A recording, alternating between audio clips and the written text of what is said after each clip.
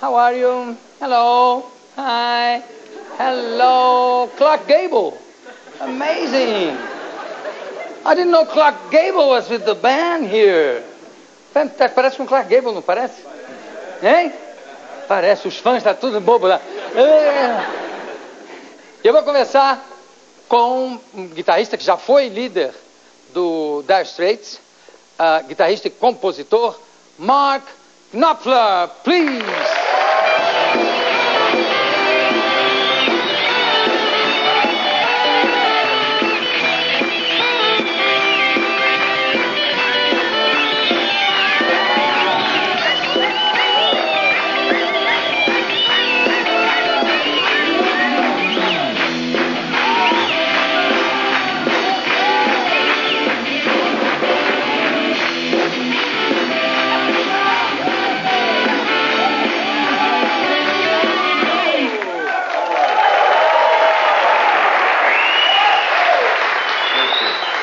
How did you like the band, the It's boys a, in the band? It's a very cool band you got there. Yeah. Wow, thank you very much. Yeah, good band. Well done, man. Ah.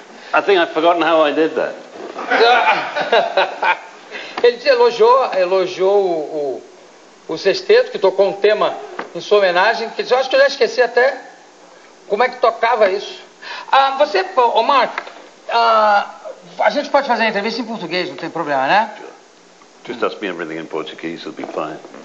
Ah, entendeu tudo. No, no, no, it won't. No. it'll, be, it'll be a disaster. Okay, no, no, no problem, no problem. We'll just speak in English and uh, we'll have the subtitles afterwards right behind us. Uh, here. Okay, I'm in your hands. Sing, okay? Okay. You're in my hands. I'm in your hands. nice feeling. well, it's a soft guitar. Yeah. uh, Mark, isn't your fa- you're from Glasgow? Originally, I was born in Glasgow, yeah. And then when I was about eight, I moved to northeast England, Newcastle on Tyne. Uh-huh. Newcastle upon Tyne. Uh-huh. You know that my family from my father's side, from my, my, my father's side, very long ago, came from, from Scotland to the north of Brazil Oh, lovely. during the time that Mary Stuart was uh, fighting with Elizabeth. That's what, uh, 1600, uh, something like that. Yeah, the Scots, the Scots get everywhere. Yeah. You do. They travel, they travel a lot. Travel a lot. And uh, is it your first time in Brazil? Yes, Yes. it's beautiful. Well, wh- wh- and uh, when did you get here? Oh, just a few days ago. And the band also, you have Clark Gable on the violin. He's played before. He's played before. And in his, uh, his first time in Brazil too? It's, I think it is, yes, it's his first time. Mhm. Yeah, they're all having a lovely time. They've all bought lots of uh, percussion instruments and uh, they've been in the music shops already. Spending- Already, Spending, spending. lots, lots of money. Even before getting the money, they're just spending it. I know. that's it. Yeah, that's the best way to do it. And you have, that's a guitar, that's uh, an acoustic guitar you have behind. Brendan, yeah. From, It's you know- yours. Okay, hold, to, hold on to it. Yeah, he's Uh, fond of his 12 string, yeah. hmm And here, this guy, this boy knows, uh, his mother knows that he's traveling with you. The, Yeah, these, Yep. these guys are brothers. Oh, your brothers. They're Fletcher brothers. As, as Guy Fletcher from Dire Straits, Uh huh. and this is brother Danny. And in the drum, on the drums. That's Danny. Danny was the percussionist uh, in Dire Straits, so Danny was. Danny is very, very happy to be in Brazil, in the land of fantastic percussion. Yeah, but his face is a little sad. I don't know if he's tired or He's- something. Mm. Look, Is he always like that? no, he's a very happy guy, really. He's a very happy guy. Let me let me see the album here. Sailing to Philadelphia. Thank you very much for your autograph. Ah, tô com um CD autografado dele aqui, ó.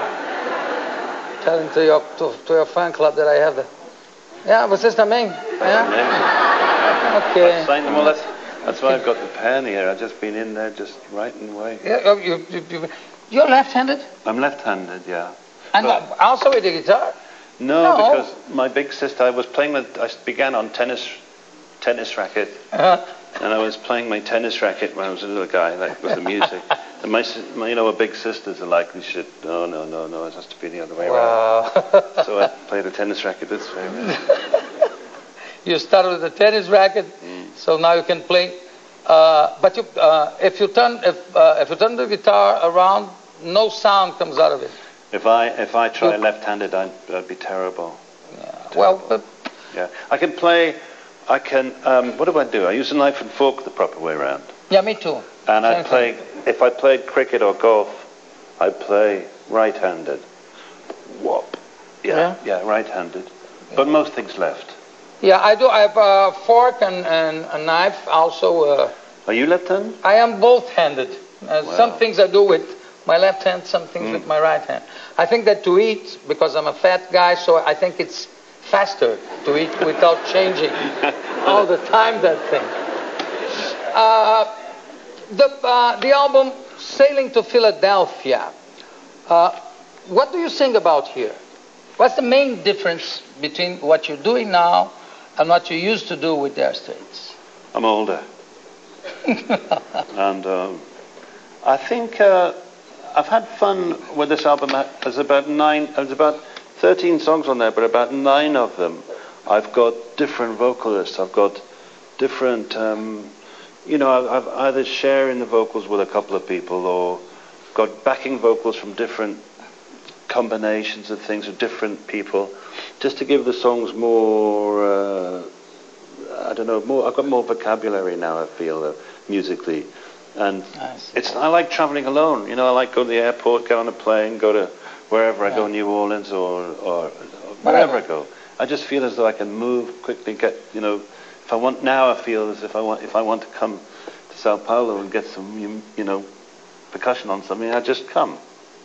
It's it would not- be easy. It's much easier. And also, uh, speaking about your music, you think you have a. Uh, I like that expression. Uh, you have a better vocabulary, Yeah, I think just. richer. I'm a very, very slow learner, but I slowly, slowly get. I think I get a little better. I mean, all I all I want to do, if I have any ambition at all, is just to make one or two records that I can listen to. That's all. You know, nothing different.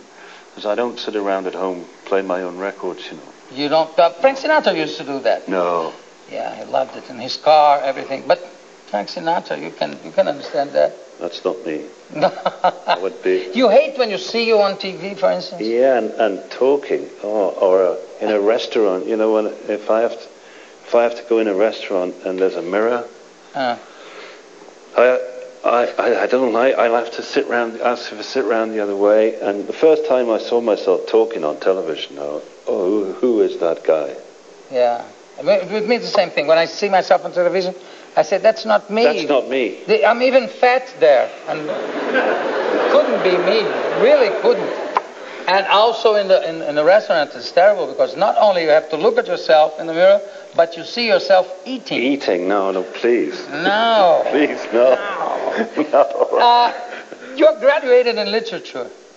Uh, by some fluke, yeah, it it, it, it happened.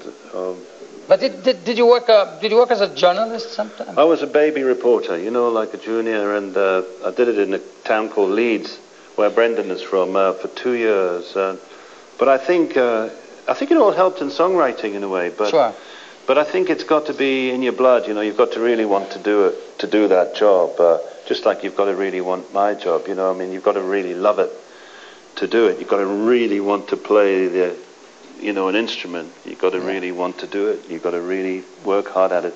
And I don't think I was a very good journalist. In fact, Yeah, I know I so. wasn't a very good journalist. Well, you uh, used to do uh, reviews or critics of uh, in the theater.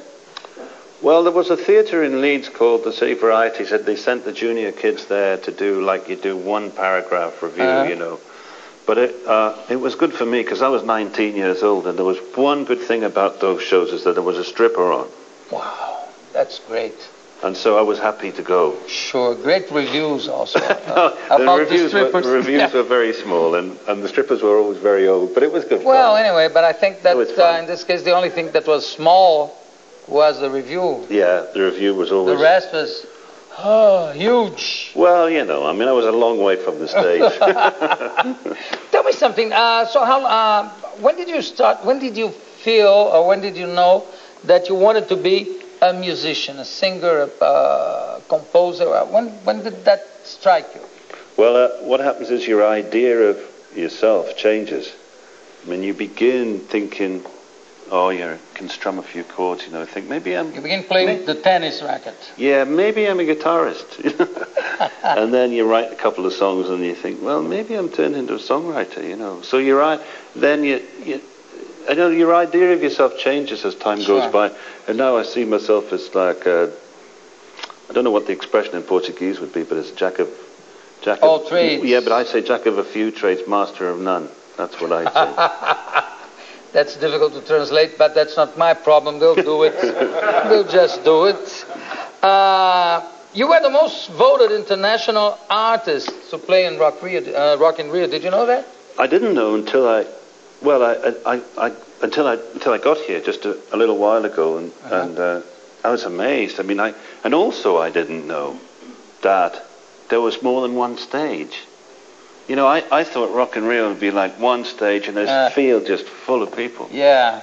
But So then, like uh, it was organized by TB, uh, P.T. Barnum. yeah, a but, lot of rings. but there was there was uh, you know, but there's a few stages, and Uh-huh. uh, so I didn't realize that. But um, but maybe next time. I mean, I'm, what I'm going to do is play here in uh, April and uh, play maybe three nights in the in a hall and here, and and I mean maybe it'd be a better experience for people to be inside rather than in a field, you know. Yeah, sure. And this time, this time you just came for the for for the album, for the new album. To to do yeah, just to sort of let people know that it's there so that we can have a good time when we come. Sure. Because it's good to tour with an album that's up. You know, it's always more fun. You know, I've, I've tried touring with an album that wasn't doing so good. That was back in America once during the uh, fuel crisis. And it was like pushing a car up a hill. It was, so.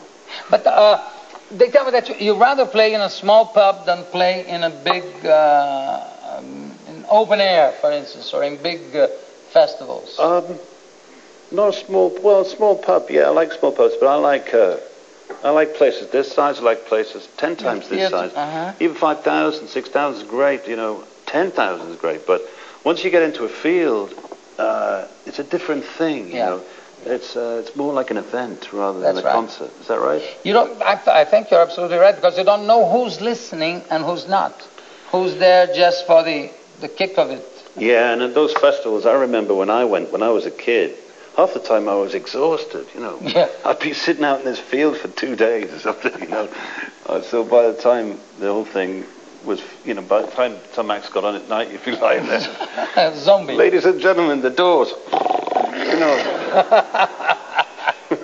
They're closed. The doors are closed. the doors are closed. Yeah, they were. I was, it was just too late at night, you know. Okay, let's listening. Uh, let's listen now to Mark Knopfler. Uh, before this, when are you coming back? Uh, around April, I think. Yeah, around April. Okay. But I'm going to have to sing into that microphone. though, I think. Okay. And uh, this time, uh, in this trip, you're going to sing somewhere. In this. I'm going to sing now. No, now, yeah. But uh, no, no, I hope so. I I sincerely hope, so. I hope Why are you so. laughing? Why are you laughing I there? so. Ah, Well, he, do, he, he doesn't call it singing. he doesn't call it singing. Probably not. Let's see. Let's let, let's hear Mark Knopfler, please. Thank you.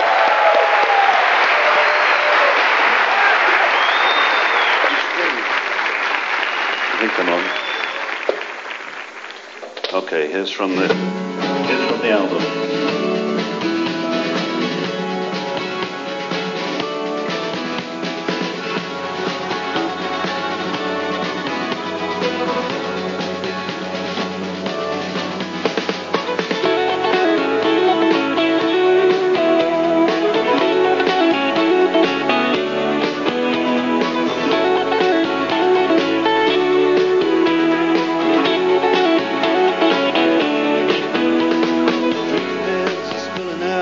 The staggering the square. And lasses falling about in a crackling in the air. That around the dungeon doors, the shelters in the queue. Everybody's looking for somebody's arms to fall what it is now. It's frost on the graves and the monuments. The taverns are warm in town curse the government and shovel hard from down. Lights are out in City Hall, at Castle and the Key. Moon shines down upon it all.